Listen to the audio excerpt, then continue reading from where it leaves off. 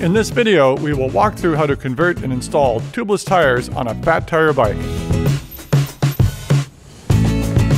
Hello, Calvin Jones here with the Park Tool Company. Converting from an inner tube system to a tubeless system can be done, but there are limitations. Ideally, the rim and tire should be designated as tubeless ready or tubeless conversion system in order to get an acceptable bead seat to the rim. This designation may also appear in the information provided by the manufacturer.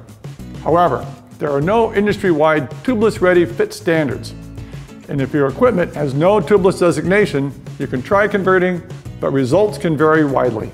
You will need scissors, seal pick or small cross-tip screwdriver, tubeless valves, tubeless rim tape, rags for cleaning, compressor and inflator head, sealant, and for the alternate installation method, a valve core remover and a syringe. Prepare the rim by removing any inner tube style rim strip. Clean inside the rim channel using a solvent that will not leave an oily film, such as with alcohol or acetone. If the rim has large holes, such as this one, reinstall the rim strip.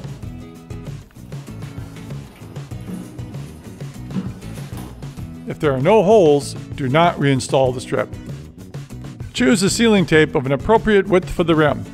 In this case, we'll need to overlap the tape in the middle of the rim. Begin by engaging the tape at least one spoke hole away from the valve. Align the tape to one side, close to the rim sidewall.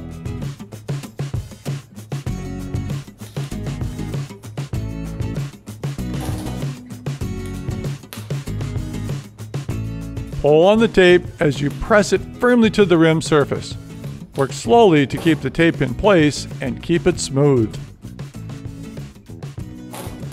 Pass over the valve hole again so the tape is overlapped. Cut the tape.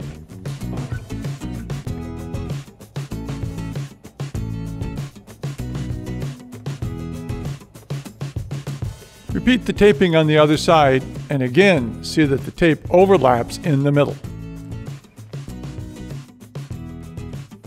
Press again on the tape, especially in the middle where the two pieces overlap.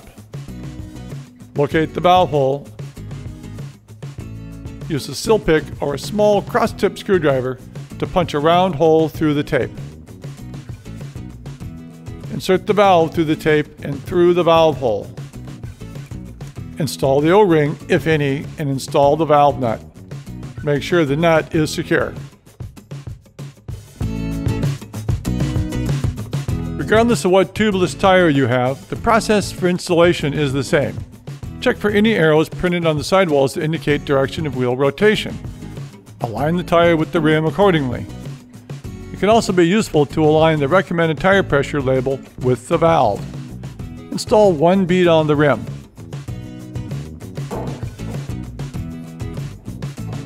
Install the second bead beginning at the valve.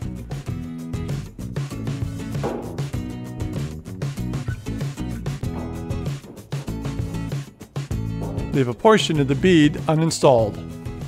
At this point in the process, there's an alternate method, but it requires a removable valve core, which will have these small wrench flats at the tip, and a syringe. If you have these, skip to the time shown, otherwise let's continue. Check the label for the recommended amount of tire sealant and pour in the fluid.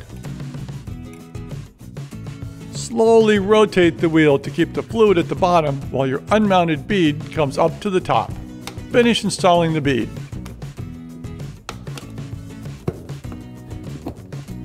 Inflate the tire to the rider's desired pressure.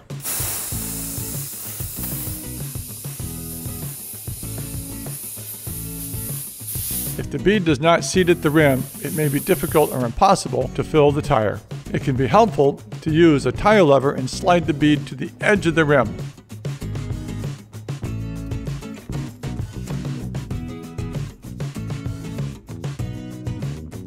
Attempt to inflate again and check the bead for proper seating.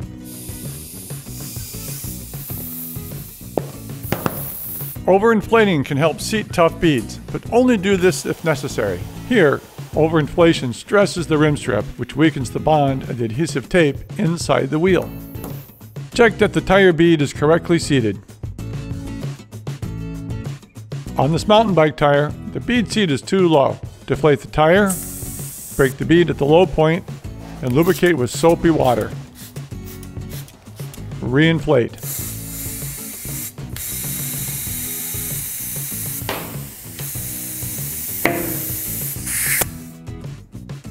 Spin the wheel to move sealant around inside the tire. Hold the wheel horizontally and oscillate the wheel to help spread the fluid around the bead. Flip the wheel and repeat.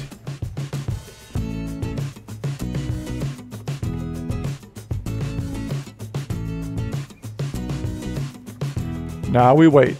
The sealant inside needs to fully set and block any leaks.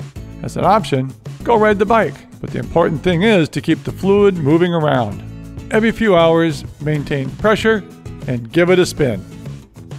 It is common for air to leak in a variety of places, and soapy water gives us a better visual. This leak at the valve stem can be mitigated by tightening the nut. In most cases, the sealant will do its job and stop the leaks. This can happen immediately, but sometimes it takes hours and even days. When the air is holding consistently, set the tire to the rider's desired pressure. This wheel is ready to use. Now let's walk through an alternate installation process for those with a removable valve core and a syringe.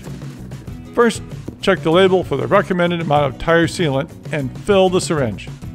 Instead of leaving a gap at the second bead, we'll mount both beads before adding any sealant. Check that the valve is secure in the rim and then remove the core using a valve core remover such as the Park Tool VC1.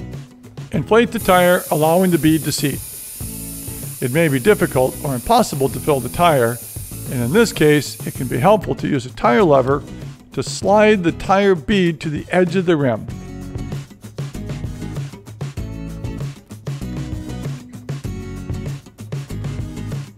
Attempt to inflate again.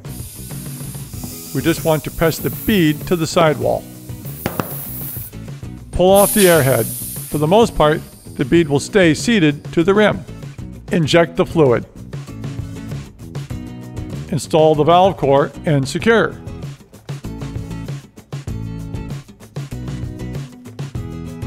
Inflate the tire and check the bead for proper seating and finish the rest of the process as shown before. Here are some final tips on use of tubeless fat tires. Maintain your pressure to at least minimum levels. In the tubeless tire system, some bleeding of pressure is considered normal and acceptable. This is why checking your air pressure is often important. Even though the big advantage of tubeless systems is riding at lower air pressures, there are instances where the system can fail. The worst load is the lateral impact. Here, the impact may cause what is called a burp. The tire bead, just for an instant, opens, allowing some air to escape. The pressure is now lower, and for every burp, you are more and more susceptible to getting a complete flat tire. So check and maintain your pressure. Keep track of what pressure has been working for you. And that seals the deal on fat tire tubeless conversion and installation.